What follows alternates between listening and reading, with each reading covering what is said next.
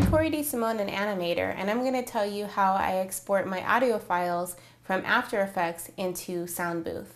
In After Effects, I solo the composition that has the audio files, and then I go up to composition and I say make movie.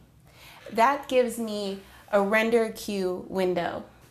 In the render queue window, I'm going to double click on the output module and I'm going to select from the format either a TIFF sequence or a wave.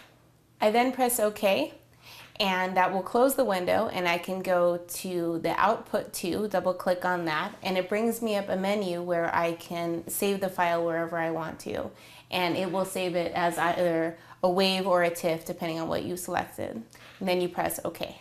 Then you press render and when it is complete, you open up your Soundbooth program. When you are in Soundbooth, you double click on the project area. This will allow you to choose your file and bring it into Soundbooth.